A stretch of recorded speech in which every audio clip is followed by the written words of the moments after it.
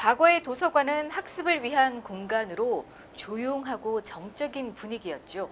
하지만 요즘은 도서관에 대한 인식이 많이 달라지고 있습니다. 뭐 지식, 정보 습득은 기본이고 사람들과 소통하는 생활 문화 복합 공간으로 바뀌고 있죠. 성남시는 10월 1일자로 도서관 조직 및 운영 체계를 정비해 도서관 지원과와 중앙, 분당, 구미, 반교, 곡정 다섯 개 도서관으로 직제를 개편하고 도서관 사업소로 새롭게 출범했는데요. 지난 12일에는 열린 도서관 조성을 위한 시정 브리핑을 열었습니다. 현재 성남시 도서관에서 시행하는 사업과 앞으로의 계획을 알렸습니다. 네, 성남시 도서관 사업소는 책 읽는 성남을 위한 독서진흥 도시 추진을 위해 조직이 이번에 개편되었습니다. 성남시 독서진흥 사업을 체계적이고 일관성 있게 추진할 것입니다. 공공도서관을 지속적으로 확대하고 노후 도서관을 리모델링을 해서 단순 학습 공간과 열람 공간 유지의 폐쇄적인 공간이 아닌 소통하는 개방형 공간으로 구성을 하겠습니다. 현재 성남시의 공공도서관은 14개, 내년 1월에 복종 도서관, 4월에 위례 도서관이 개관하면 성남 시민은 총 16개의 공공도서관을 이용할 수 있습니다.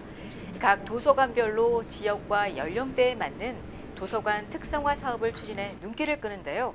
어, 대표적으로 몇 개만 좀 살펴보겠습니다. 중앙도서관에 찾아가는 독서 치유 프로그램, 분당도서관에 찾아가는 장애인 독서 교육, 또 수정도서관에 곤충나라 체험전, 운중도서관의 인문학 강좌 등입니다. 또 다양한 독서 진흥 사업에 역점을 두고 사업을 추진 중인데요. 첫째, 셋째 주 월요일 아침 출근길, 지하철 단대 오거리역 역사에서 책을 빌려주는 원북 원백 행사. 자동화 장비로 365일 도서 대여가 가능한 스마트 도서관 설치. 만 19세 청년들이 책을 빌리면 2만 원 상당의 모바일 상품권을 지급하는 첫 출발 책드림 사업 등은 시민들이 일상에서 책을 손쉽게 접할 수 있도록 시행하는 사업입니다.